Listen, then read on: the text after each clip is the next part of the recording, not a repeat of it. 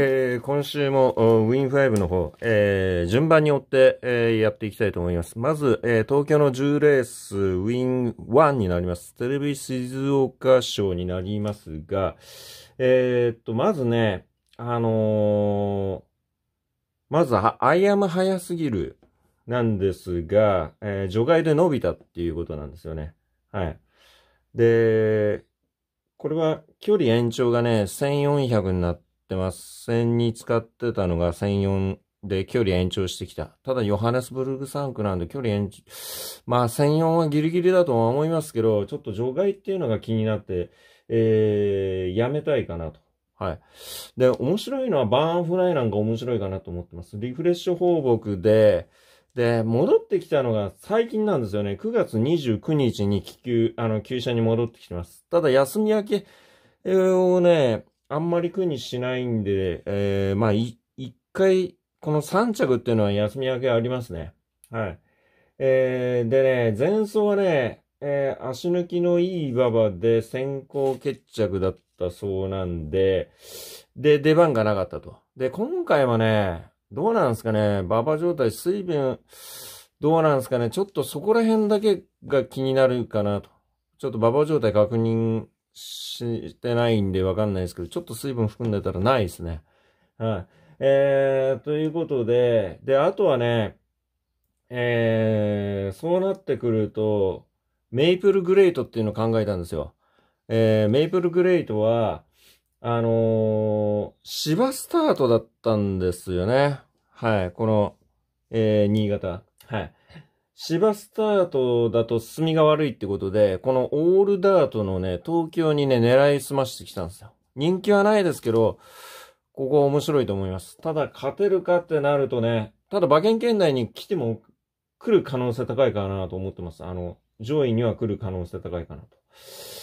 で、バンブトンハートも考えたんですが、ここ9月11日に戻ってきてます。はい。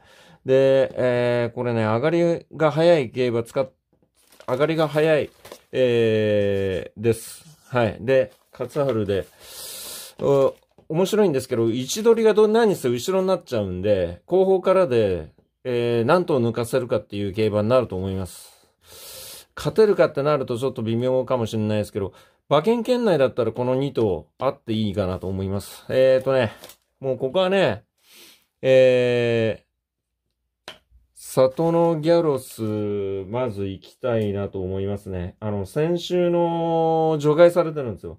で、先週の除外が帰ってよかったってことで、えーと、これ関西馬ですよね。関西馬なのに、えー、この2度の除外あって、で、9月2日に帰ってきてるんですよ、旧車に。2度の除外があって、で、今週長距離輸送ですよね。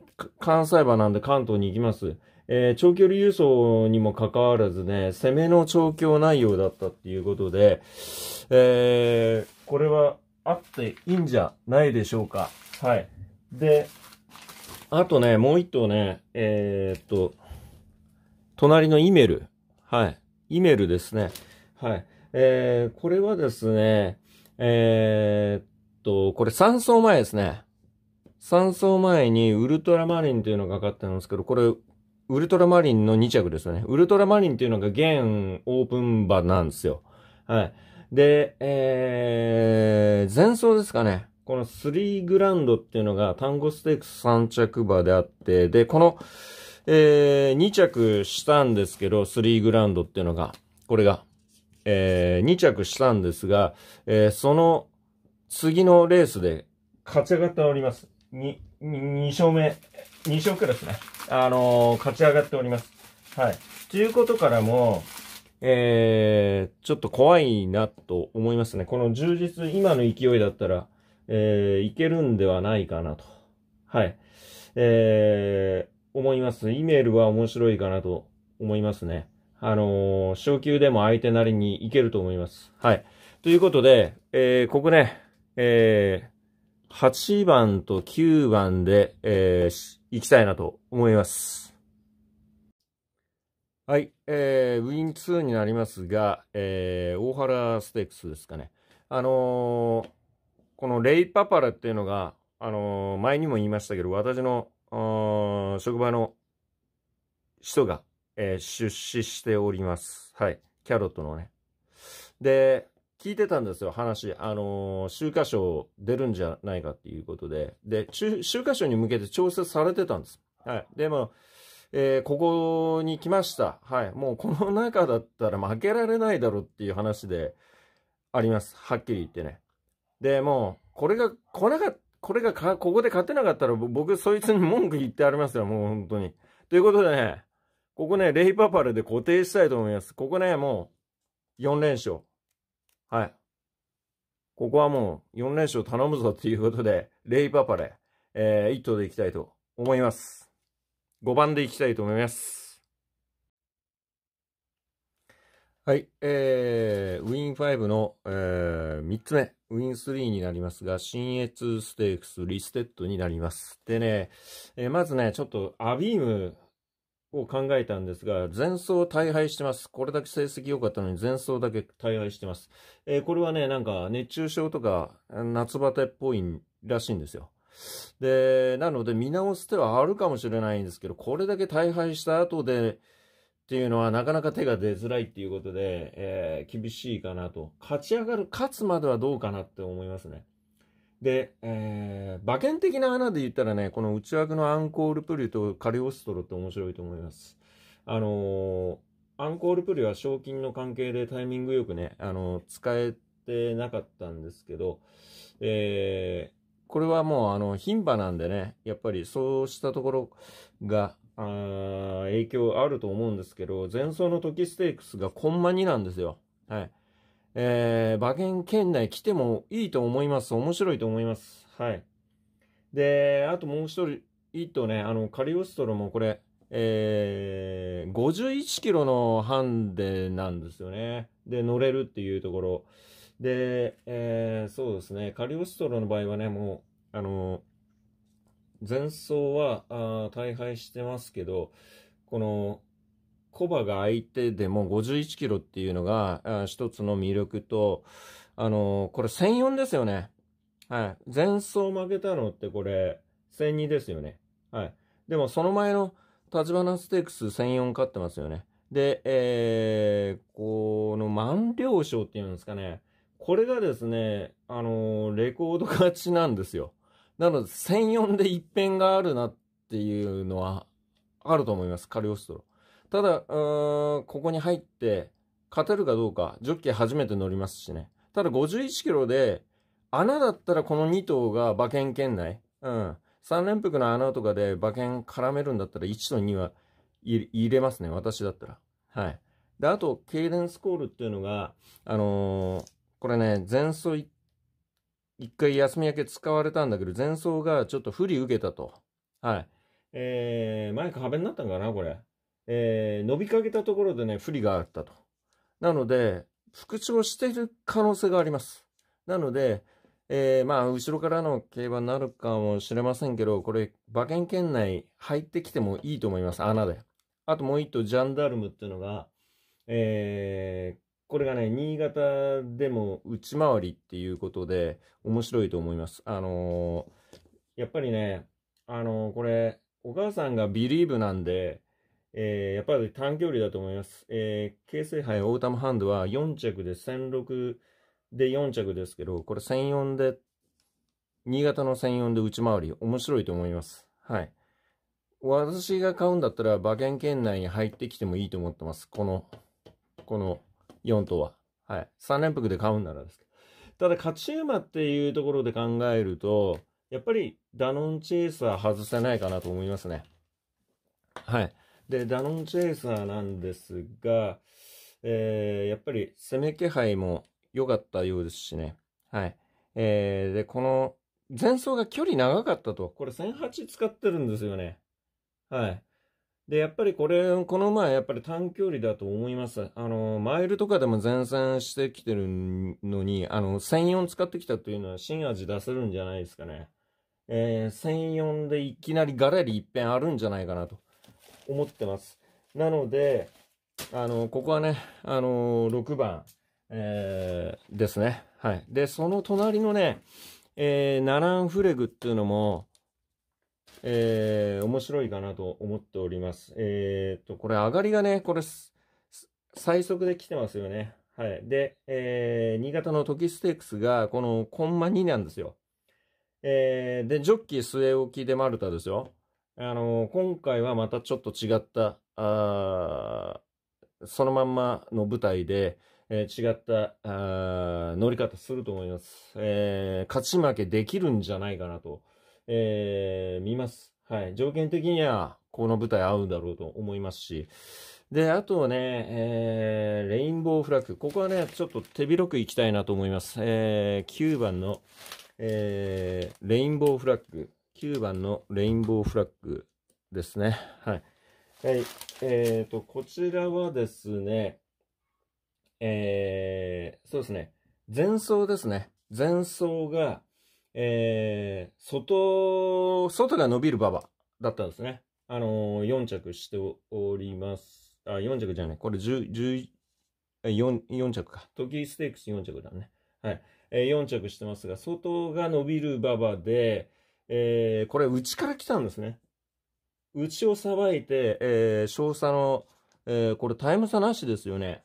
はい、タイム差なしの、そうですね、4着だったんで、カテドラルのね。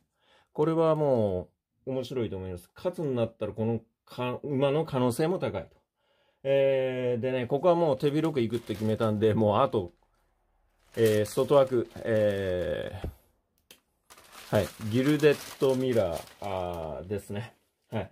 で、ギルデッドミラーは、えー、メンバーが楽になると。あのー、前奏はもう中京記念使ってますから、その前なんか NHK マイル、アイル、アーリントンって使ってますから、えー、ここは相手が軽くなるんで、ここは絞ってもいいんじゃないかっていうぐらいですけど、ただ、ハンデ戦なんで何が起こるかわからない。はい。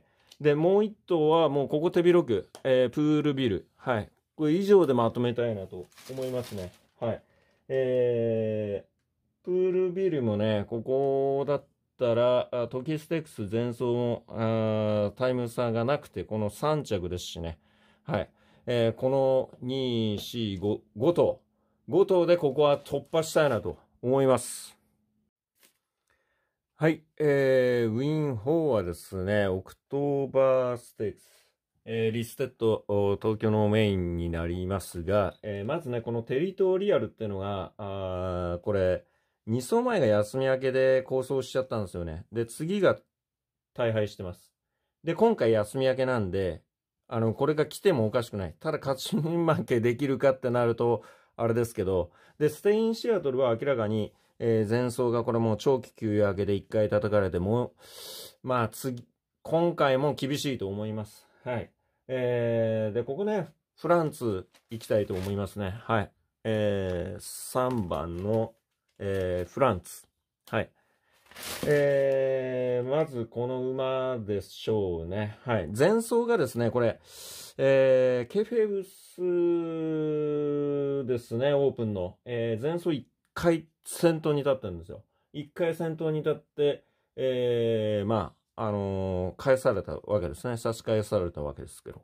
えー、で、その相手がね、このトリコロールブルーなんで、で、このトリコロールブルーも、活かしていただきたいなと思います。えー、っと、10番のトリコロールブルー。はい。えー、です。はい。えー、トリコロールブルーはもうここに入ったらね、えー、やっぱ、あの、消せないかなと思いますね。えー、そうですね。えー、で、あとね、えー、ロシュホールを考えたんですが、えー、これはね、あのー、前奏がですね、これ、1年休んでの、使われ、1回叩かれたと。で、今回叩き2戦目だから、まあ、あるかなとは思うんですけど、えー、競馬を、はね、あの、直線まで最後までじっと構える競馬をするらしいんで、やっぱり一番後ろの方だと思います。後方からの競馬になるんで、そっからどこまででしょうかね。っていう感じでしょうね。で、三浦騎手が2回乗ってて、えー、2回とも、馬券圏内入ってないんですけど、七夕賞で1番人気で11着で飛ばして、前走が長期休み明けで出遅れてます。で、今回も後ろからの競馬するんですけど、たた、叩かれてのどうか勝てるかっていうところですよね。ちょっと、え、私は消しました。はい。はい。えー、でね、あの、オーケンムーンなんかは、えー、1年11ヶ月ぶりの実戦ということで、えー、前走、ダメでしたよね。はい。まだまだ叩かないといけないかなと思いますし、で、マイネル軍団ですと、マイネルファンロン、えー、マイネルハニーといますけど、この中だったらマイネルサーパスになっちゃうのかなと思います。はい。ただ勝てるのかってなると、どうでしょうかね。合計8本の追い切り消化してるらしいんで、えー、上位までには来る可能性高いかなと思います。はい。えー、でね、私はね、このパンサラッサも行きたいなと思ってます。えー、14番。はい。14番のパンサラッサーです。はい。えーと、この馬はね、あのー、直線、えー、伸びずにね、えー、失速してます、前走。はい。で、休み明けで息が持たなかったようなので、で、一叩きして、えー、54キロ。はい。まあ、年長馬相手ですけど、えー、これ前行って、前行く馬で勝ってもおかしくないんじゃないかなということですね。で、あともう一頭ね、ここね、当選カンビーナ、はい、16番の、えー、当選カンビーナで行きたいなと思います。はい。えー、これはね、もう使われてきてるね、あの、レースが違います、まず第一に。阪神大賞典、天皇賞春。